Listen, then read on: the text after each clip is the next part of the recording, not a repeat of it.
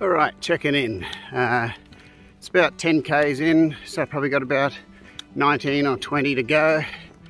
Um, I just stopped off, just spent about probably three quarters of an hour at a little place, had a nice coffee.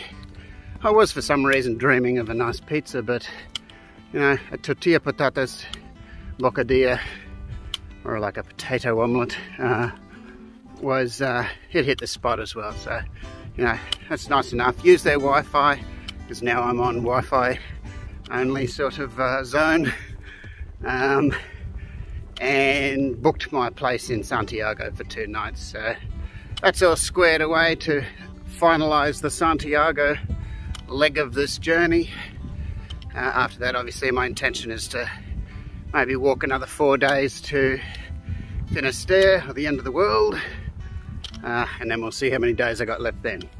But it occurred to me, today's the 2nd of November, I started out in Saint-Jean, Pied-de-Port, in uh, on the 2nd of October. So uh, actual days in the uh, month aside, uh, let's just call it a, a month today that I've been walking. So